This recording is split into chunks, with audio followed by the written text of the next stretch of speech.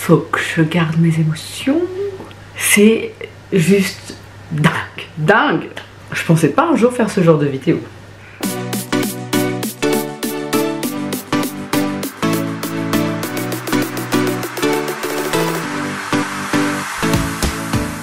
Hello, j'espère que vous allez bien. Aujourd'hui, pour ce jour spécial, je vous parle d'un projet un projet de longue date, un projet qui me tient à cœur, un projet dont je ne vous ai absolument jamais parlé ni sur YouTube ni sur Insta, tout simplement parce que je ne voulais pas euh, c'est pas pour faire du spoil ou absolument faire cette vidéo un peu annonce, mais parce que j'étais pas sûre de moi tout simplement et j'avais très très très peur que le, le projet n'aboutisse jamais. Et du coup, je ne voulais pas en parler tant que je n'étais pas sûre à 99,9% que ça fonctionne.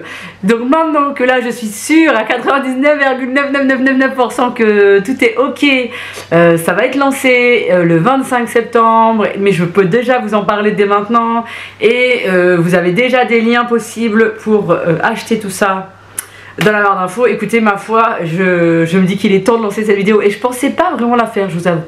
Oui, je fais du rappel suspense quand même, c'est... Bon bref, allez, je vous annonce ça.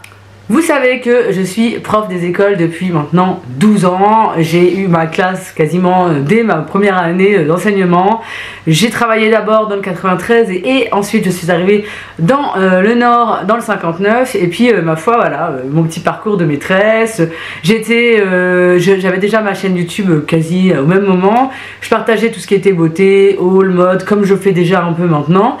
Et je parlais pas forcément tout de suite de ma, de ma vie de maîtresse, mais j'en ai parlé un petit peu régulièrement comme ça de temps en temps.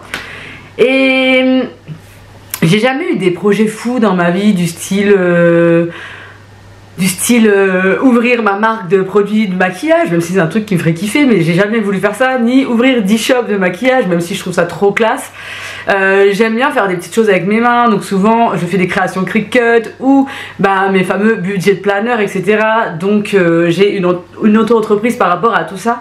Euh, et, j'en suis contente, mais c'est un plus à côté. Mais c'est vrai que je suis une passionnée de tout. Et aujourd'hui, je vous annonce que j'ai euh, finalisé deux livres que j'ai écrits. Alors honnêtement, je pensais pas un jour vous dire ça dans ma vie, puisque euh, j'ai jamais été une grande euh, comment vous dire, euh, une grande oratrice. Et j'ai jamais non plus été un grand écrivain, j'ai jamais été passionnée par le fait d'écrire des textes, mais c'est vrai que dès petite, j'écrivais de temps en temps des, petits, euh, des petites histoires un peu imaginaires et fantastiques. Voilà, vous savez que ma grande passion quand je suis arrivée dans le Nord, c'est de faire ma classe Harry Potter. Et ça m'a pris énormément d'énergie et j'étais vraiment passionnée par ça. Et, du coup voilà, tout ça, ça s'est nourri. J'ai pas, euh, je vais pas vous dire euh, oui, ça, ça me trottait euh, dans la tête depuis 20 ans. Non, absolument pas. En fait, ça s'est fait comme ça. L'année dernière, le, la maison d'édition, je vais y arriver, la maison d'édition Ebla Édition m'a proposé de, collaborer avec moi pour tenter d'écrire une sorte de fichier pour les enfants qu'on pourrait utiliser à l'école avec des activités un peu en lien avec Harry Potter. Parce que elle avait remarqué que dans mes vidéos ou sur Insta, je vous partageais parfois des petits fichiers comme ça, des petits exercices que j'aimais bien faire. J'aime bien faire des rituels un peu sous forme d'énigmes ou euh, Harry Potter. Et je trouvais que ça donnait envie aux enfants tous les jours de venir à l'école et bah, voilà d'avoir ces petits challenges, ces problèmes mathématiques qui sont faits d'une autre façon et qui finalement les, font réfléchir, mais en même temps euh, les amusent parce que ça rappelle Harry Potter, etc. Donc euh, voilà, ma foi, vous le savez, euh, je vous ai déjà partagé ça sur Instagram. Et du coup, la marque m'a proposé, la maison d'édition m'a proposé de peut-être tenter de faire ça, mais de faire mes propres énigmes sous cette forme-là, mais pas forcément Harry Potter, puisque Harry Potter, vous le savez, c'est une licence particulière et bah on n'a pas forcément euh, envie d'avoir cette licence là donc j'y ai réfléchi au début j'étais là ça me paraissait insurmontable je trouvais ça euh, je me sentais pas spécialement légitime parce que même si je suis une grande fan d'Harry Potter que je suis enseignante depuis un certain nombre d'années c'est pas pour ça que je me vois euh, des conseils. Dans mes vidéos d'ailleurs ou sur Insta souvent je vous donne pas de conseils vraiment importants. Je partage mes, ma vie mes idées ma pédagogie mais je donne pas de conseils vraiment ou euh, genre il faut absolument suivre ce que je vous ai dit. Donc je me sentais pas légitime mais je me suis lancée quand même. J'ai dit bah je vais réfléchir je vais commencer je vais voir s'il y a moyen. J'ai commencé à réaliser des petites fiches du coup euh, d'autonomie que j'ai fait avec mes élèves de CM2 l'année dernière. Et au fur et à mesure de l'année, j'ai fait ça voilà, avec eux. Comme ça, je pouvais voir aussi si mes exercices étaient adaptés au niveau CM1, CM2, si si ça pouvait convenir à des enfants aussi avec des difficultés et des enfants qui étaient euh, tout à fait à l'aise euh, avec le programme. Et tout ça en lien avec le programme de l'éducation nationale, évidemment. Bref, je vous ai même pas dit encore le pourquoi de tout ça. Mais l'idée de base, c'était de faire un petit fichier d'autonomie comme ça que vous pouvez utiliser en classe. Et finalement, quand j'ai rencontré la marque, euh, enfin la maison d'édition Ebla Édition à Paris, euh, en papotant avec euh, bah, les personnes avec qui j'ai des contacts, eh bien, elles sont venues à me dire, et pourquoi pas faire aussi un petit album, une petite histoire à côté pour compléter, pour pouvoir travailler, pour pouvoir travailler la compréhension, travailler sur des personnages et et ma foi, j'ai trouvé ça dingue parce que je n'avais pas d'idée à la base d'histoire. Vous voyez ce que je veux dire? Ça s'est fait vraiment comme ça au feeling, en en parlant, en en discutant, mais j'avais pas déjà écrit mon histoire comme euh, d'autres enseignants ou d'autres personnes, d'autres écrivains qui avaient déjà leur histoire écrite et puis après ils ont proposé aux maisons d'édition. Nous, ça a été un peu dans l'autre sens.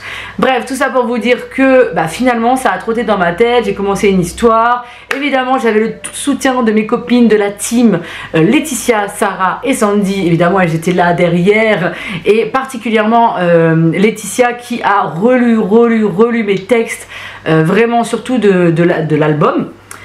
Et d'ailleurs, je voulais les remercier dans cette vidéo si elle passe par ici. Vraiment, merci du fond du cœur, les filles, de votre soutien. Euh, évidemment, j'ai eu beaucoup de soutien autour de moi, ma famille, tout ça, mon mari, le premier qui a supporté tout ça. J'ai finalisé le tout au Canada. C'est pour vous dire que même au Canada, je bossais dessus. Et, et mon mari n'en pouvait plus. Il me disait Arrête, on va profiter de notre voyage ou pas là? Donc, bref, j'ai sorti du coup deux livres qui vont officiellement sortir le 25 septembre et que vous pouvez déjà commander dès maintenant sur le site de Ebla Édition. Il est disponible aussi sur une autre plateforme qui est la FNAC. Mais sur Rebel Edition, on a une petite offre pour vous, pour vous, donner envie de, l'acheter, le découvrir. Et vous les recevrez dès euh, que ça sera imprimé, donc le 25 septembre. Je vous montre quand même les, spécimens quand même. Pour vous montrer un petit peu euh, tout mon, truc, euh, toutes mes préparations sont là, hein. tout, tout, tout ce que j'ai fait est là. Donc vous voyez, il y a des pages et des pages. Et je vous ai ramené même mon iPad pour vous montrer que tout a été fait sur mon iPad. Euh, toute la création euh, des fichiers et de l'histoire se sont faites sur euh, l'application GoodNotes. J'ai pas utilisé de Word ou d'autres formats. J'ai vraiment utilisé GoodNotes parce que je suis vraiment à l'aise avec GoodNotes et j'aime beaucoup beaucoup beaucoup cette application. Donc si vous la connaissez pas, bah vraiment foncez parce qu'elle est top top top. Et j'ai pas précisé, mais tout ce que j'ai écrit, j'ai demandé à ce que l'illustratrice soit une maîtresse aussi. Parce que je me suis dit comme ça, entre maîtresses, on se soutient. Et surtout, j'adore, j'adore, j'adore, j'adore ses dessins. J'ai déjà demandé à collaborer avec elle sur Instagram parce que j'aime beaucoup sa façon de dessiner.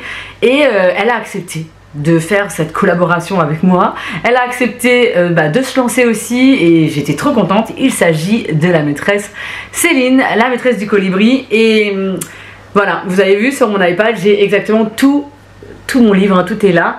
Et voilà, Céline, elle a participé à faire toutes les illustrations du livre qui sont jusqu'à long. Je vous en montrerai quelques-unes là à l'image, mais elle a euh, tout réalisé en fonction de mes envies. Euh, à chaque fois que je lui disais quelque chose, elle, essayait de modifier par rapport à ce que je lui disais, euh, au fur et à mesure de l'histoire. donc elle a suivi tout le processus. Elle a, elle a vraiment réalisé toutes les illustrations que vous retrouverez dans ces deux, dans ces deux, dans ces deux guides ou deux livres. Donc, il y a un album, comme je vous disais, donc il se présentera comme ça. Ce n'est pas le vrai, parce que je ne l'ai pas reçu à l'heure actuelle où je vous parle.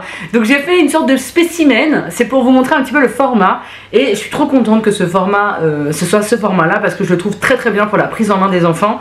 Je trouve qu'il est... Euh, de belle qualité. Donc là évidemment ce n'est pas la vraie couverture, hein. j'ai un peu traficoté. À la base c'est euh, voilà, c'est ce style de format là. Donc j'ai mis ma couverture pour que vous vous rendiez compte euh, du rendu. Mais c'est un très très joli format. Donc vous avez la maison d'édition, l'illustration euh, de, euh, de, ma, de ma Céline, donc de la maîtresse du colibri. Et voilà, notre titre qui a été trouvé par Laetitia, mais pas exactement le même titre, qui m'a donné cette idée de titre L'île aux sorciers.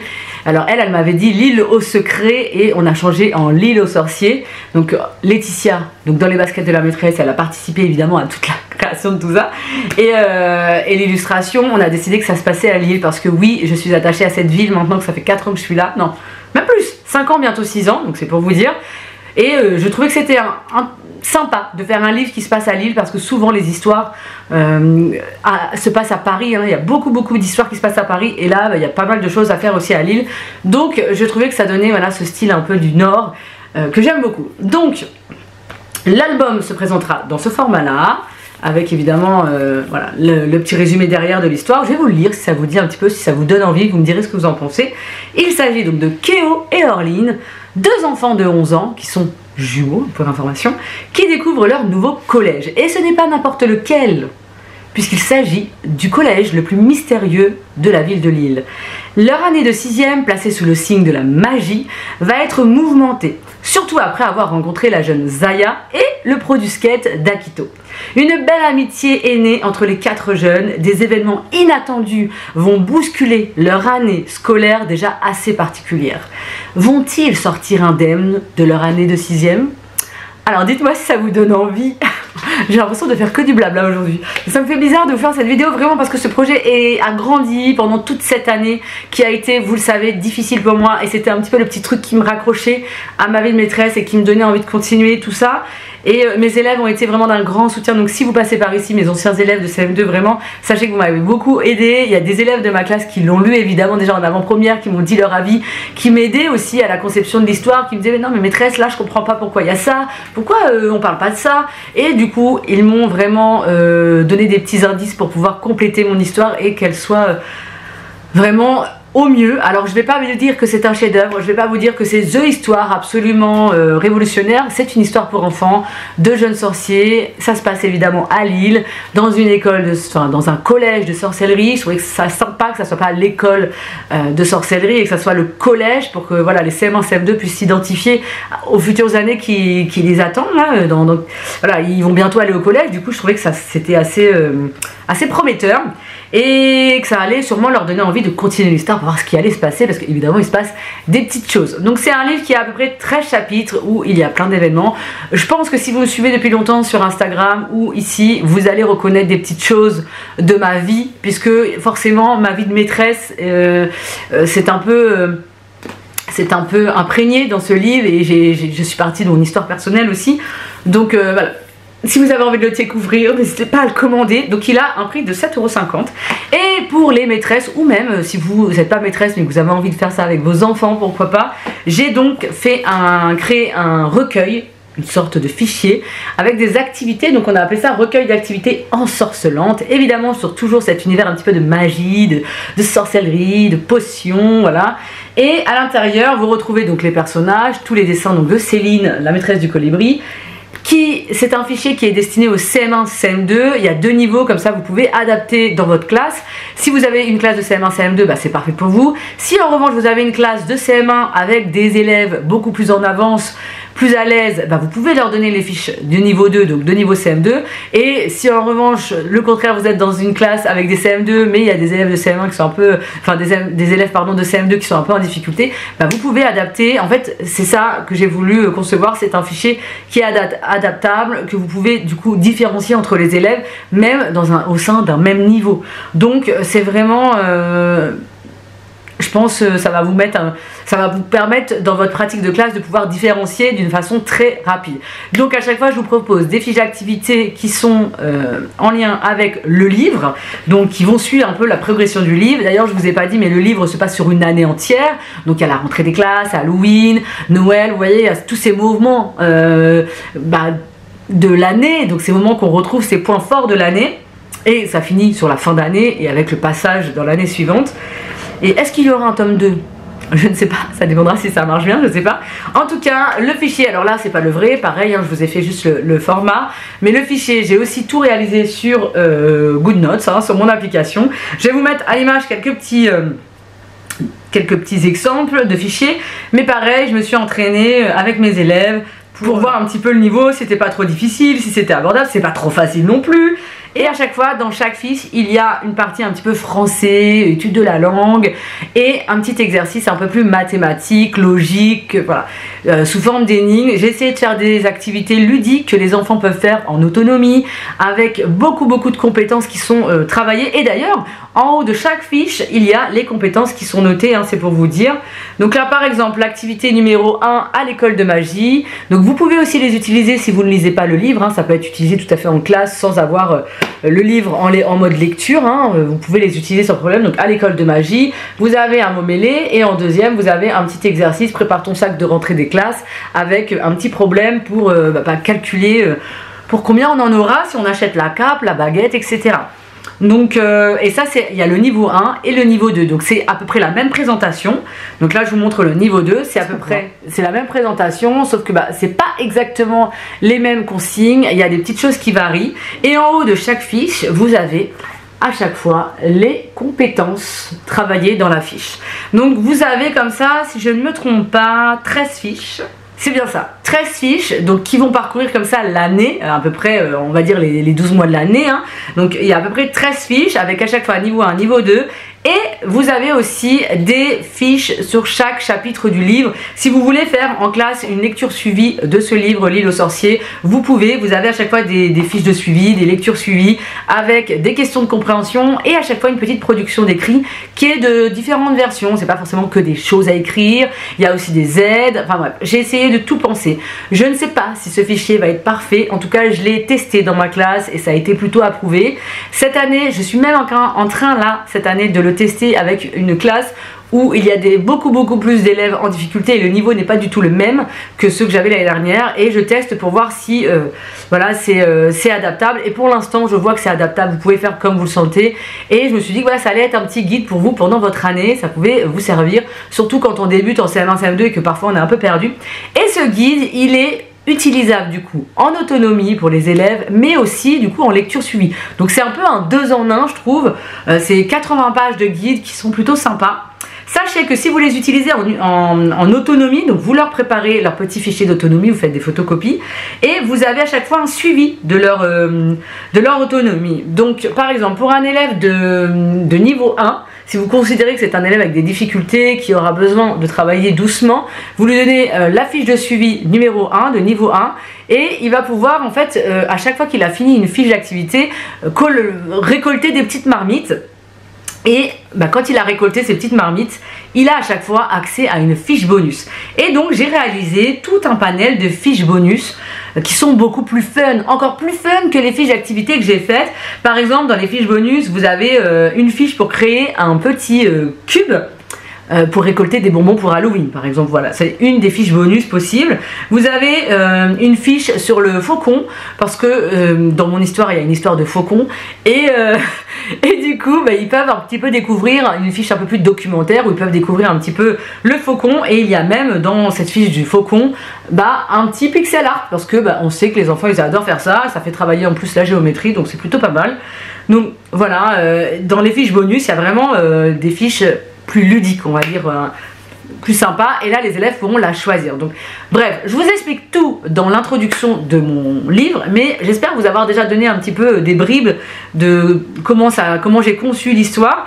Du coup, mon fichier est donc divisé en trois parties. La première partie avec tous ces fiches d'activité possibles, niveau 1, niveau 2 en autonomie.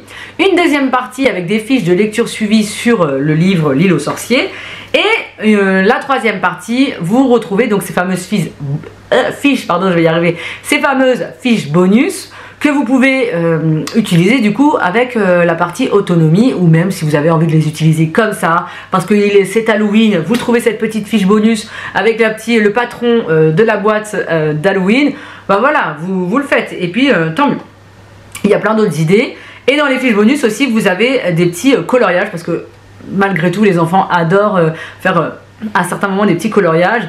Et vous avez des coloriages en lien avec l'histoire L'île aux sorciers, avec les dessins de Céline, donc la maîtresse du colibri. On a évidemment demandé dans ces petits coloriages des petites consignes un peu euh, sympas. Par exemple, pour le coloriage numéro 1, en fait c'est la couverture hein, du livre.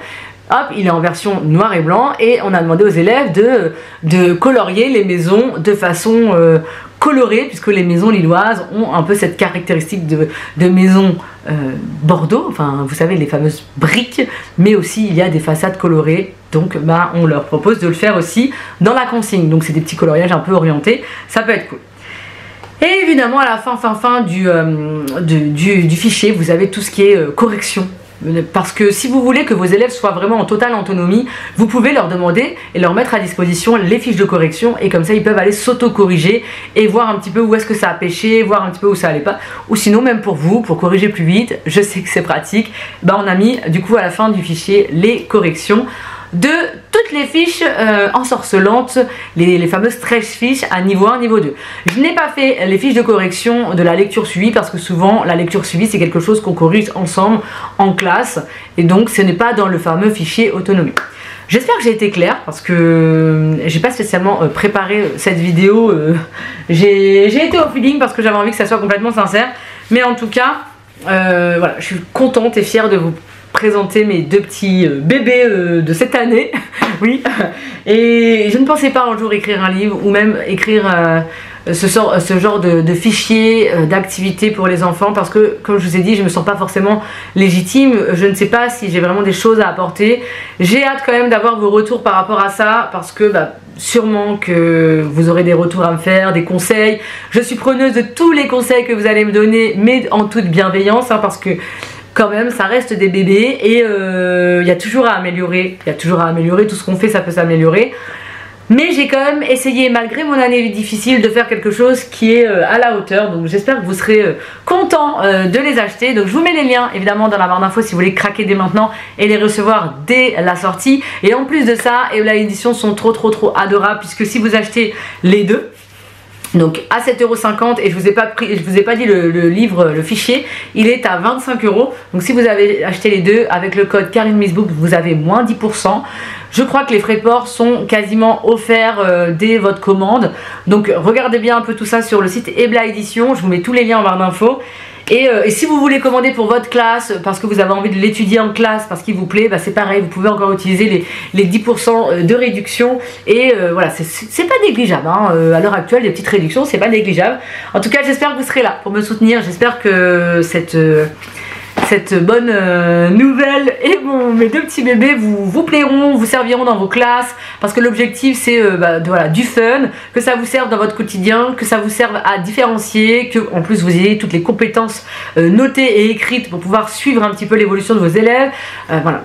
J'espère qu'en tout cas ça vous plaira. et écoutez, pour l'instant, mes élèves qui ont lu, toutes les personnes, tous les enfants qui ont lu ce livre étaient plutôt contents. Donc, m'ont dit que c'était vraiment un livre sympa.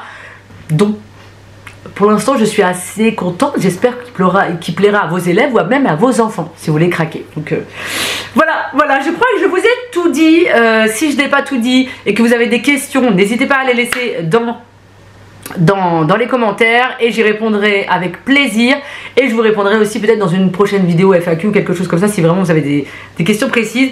En tout cas, je vous en reparlerai je pense pour euh, vous montrer un peu comment je mets ça en place, comment mais j'ai tellement hâte de les recevoir en vrai parce que là, oui, c'est ma fabrication maison. En attendant, euh, j'ai pas eu la chance. Moi, j'ai tout eu en version numérique pour suivre un peu, corriger, etc. Mais j'ai pas eu encore la chance de les recevoir en vrai. Donc, je suis comme vous. Je suis en mode, j'attends le 25 pour les avoir en vrai. Donc, j'ai trop hâte. Mais voilà, je vous ai fait un peu le modèle pour vous montrer que ça sera dans ce style de format-là. Donc, euh, bon, je vais m'arrêter là parce que je parle beaucoup trop. Sur ce, j'espère que vous allez vraiment me soutenir, liker cette vidéo, vous abonner si ce n'est pas encore fait, me dire ce que vous en pensez vraiment euh, dans les commentaires euh, et, je croise les doigts pour que ça vous plaise. Vraiment, je croise les doigts du fond du cœur. Euh, voilà, voilà, voilà. Sur ce, je vous fais des gros, gros bisous. Merci à tous d'être là et de regarder jusqu'au bout cette vidéo.